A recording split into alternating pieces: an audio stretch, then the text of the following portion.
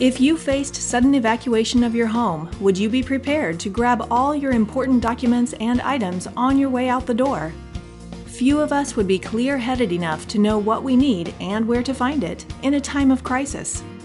Here are two important steps to take well in advance of any possible emergency. First, create an inventory of your home possessions, inside and out. Document this in a formal list and take photos or videotape for insurance purposes. Include values, model and serial numbers, receipts, and appraisals whenever possible. Second, assemble an evacuation box to store key documents and items like cash, wills, bank account numbers, computer backups, and medical information.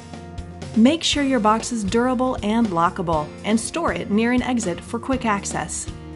Preparing for an emergency can help lessen its financial impact.